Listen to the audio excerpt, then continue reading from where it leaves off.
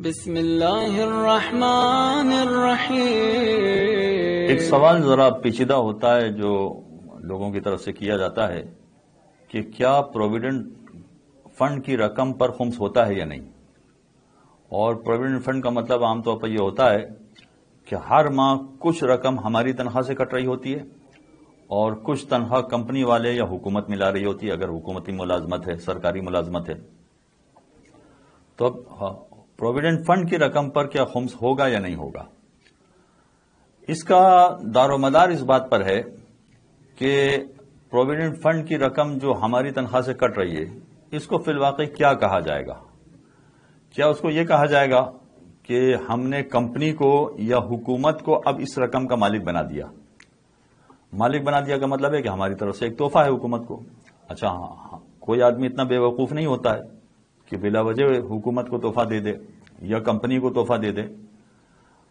असल में यह तोहफा इसलिए दिया जा रहा है कि जब हम ये तोहफा देंगे तो हुकूमत बढ़ाकर अपनी जानब से भी इतनी ही रकम मिलाकर या कंपनी इतनी ही जानी इतनी ही रकम मिलाकर हमें फिर ये वापस करेगी। तो हमने कंपनी को तोहफा दिया है और फिर कंपनी हमें अब तोहफा वापस कर रही है। क्या ये तोहफा है या यह कर्जा है? कर्जे का मतलब यह हुआ कि हमारी तरफ़ से कंपनी को या हुकूमत को मुसलसल कर्जा दिया जा रहा है।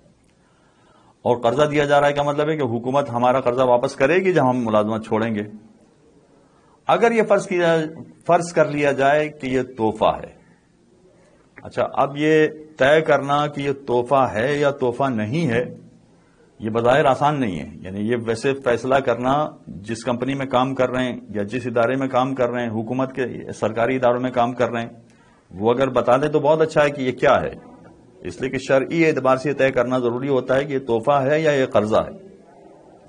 अगर फ़र्ज़ कीजिए कि ये किसी तरह से तय हो जाए कि ये तोहफा है तो उसके मुताबिक चलेंगे। और अगर यह तय हो जाए कि यह कर्जा है तो उसके मुताबिक चलेंगे। लेकिन बसा अवकात यह पता करना ही मुश्किल होता है कि तोहफा है या कर्जा है। तो बजाहिर यह समझ में आता है पाकिस्तान के माहौल को पेश नज़र रखकर मैं बात कर रहा हूँ बजाहिर यह समझ में आता है कि यह कर्जा होता है। इसलिए कि बाकायदा हुकूमत ने या बड़ी मल्टानेशनल कंपनीज़ ने प्रोविडेंट फंड अकाउंट कायम किया होता है। और उस प्रोविडेंट फंड अकाउंट में से किसी को लोन चाहिए होती तो उसमें से लोन भी फिर देते हैं।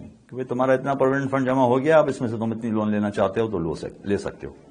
लेकिन ये मेरी अपनी राय है ये फतवे की बात नहीं कर रहा मैं। कि बजाहिर यह कर्जा मालूम होता है, अगर आप किसी तरह से ये मालूम कर सकें कि यह कर्जा है या ये तोहफा है तो तो उसी हिसाब से मसला तय करना आसान हो जाएगा। लेकिन अगर पता ना कर सकें तो बजाहिर ये समझ में आता है कि यह कर्जा, फ़र्ज़ करें कि यह तोहफा है तो ऐसी सूरत में जितना महाना आपकी तनख्वाह से कट रहा है, इस पर कोई खुम्स नहीं देना है।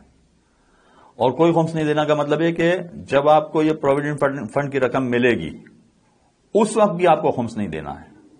खुम्स देना है जब आपकी खुम्स की तारीख आ जाएगी और उस प्रोविडेंट फंड में से जो रकम बचेगी, फकत उस रकम पर आपको खुम्स देना पड़ेगा।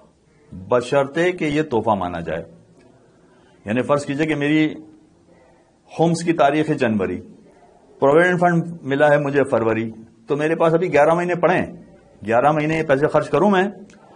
अगले साल जनवरी में जहाँ मेरी खुम्स की तारीख आएगी वहाँ पर अगर मेरे पास प्रोविडेंट फंड की कुछ रकम बची होगी तो उसमें से मुझे खुम्स अदा करना पड़ेगा। बशर्ते कि यह समझ में आए कि यह तोहफा है। लेकिन अगर यह कर्जा है तो ऐसी सूरत में अब यहाँ दो पहलू हैं। दो पहलू का मतलब यह हुआ कि अगर हुकूमती इदारा है तो जरा मामला मुख्तलिफ़ हो जाएगा। और अगर प्राइवेट इदारा है तो मामला जरा मुख्तलिफ़ हो जाएगा। अगर फ़र्ज़ कीजिए ये प्राइवेट इदारा है तो ऐसी सूरत में आप चाहें तो हर महीने जितना आपका पैसा कट रहा है, उसका आपकी खुम्स की तारीख पर कैलकुलेशन कर लें कि इस साल मेरी तनख्वाह से कितना पैसा कटा है। फ़र्ज़ करें कि तनख्वाह से हज़ार रुपये माहाना कट रहे हैं, साल के बारह हज़ार रुपये कटें या दस हज़ार रुपये कटें तो दस हज़ार रुपये पर दो हज़ार खुम्स आप अपनी खुम्स की तारीख पर देना चाहें तो दे दें, कोई हरज नहीं यह मैं जो जुमला इस्तेमाल कर रहा हूँ कि देना चाहें तो दे दें का मतलब यह हुआ कि आप ऐसे इदारे में काम कर रहे हैं कि जहाँ आप अपना पैसा वापस नहीं मांग सकते। जो चला गया चला गया, अब आप जब रिटायर होंगे, उस वक्त प्रोविडेंट या जब जॉब छोड़ेंगे, उस वक्त प्रोविडेंट फंड मिलेगा। अब यह आपने मसला ये पैसा दे दिया तो साल के आखिर में जब आपकी होम्स की तारीख आ रही, उस वक्त भी आप इसका होम्स निकाल सकते हैं। या फिर यह कि जब आपको प्रोविडेंट फंड मिलेगा उस वक्त फिर आपको साल का इंतज़ार नहीं करना है। जितनी रकम आपकी कटी है प्रोविडेंट फंड में से, उस रकम का तो फ़ौरन खुम्स निकाल देना है।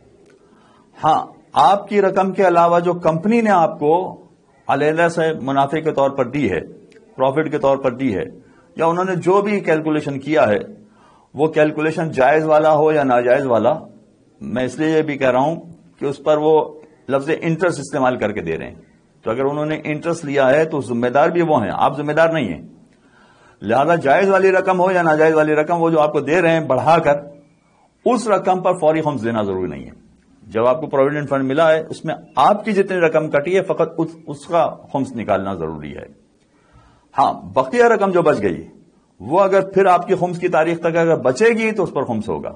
अगर नहीं बचेगी तो उस पर भी खुम्स नहीं होगा। और अगर यह मुलाजमत मसन सरकारी मुलाजमत है तो तो फिर हर महीने निकालने की ज़रूरत नहीं है। जो हर महीने कट रहा है, उस पर निकालने की ज़रूरत नहीं।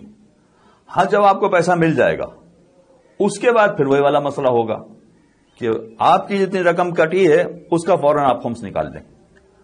जो हुकूमत ने इजाफी रकम आपको दी है, उसका फौरी खम्स निकालना ज़रूरी नहीं होगा। उसके लिए आप अपनी खम्स की तारीख का इंतज़ार कर सकते हैं।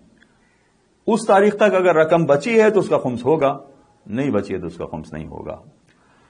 लिहाजा ये मैंने मुख्तसर तौर पर भी प्रोविडेंट फंड का मसला समझाने की कोशिश की है, मगर उसके बावजूद जरा लंबी गुफ्तु हो गई मेरी, जिसके बावजूद अगर समझने में कोई दुश्वारी हो रही है तो आप अपने इलाके के उलमा से या हमें भी फ़ोन करके तफसीलात मालूम कर सकते हैं।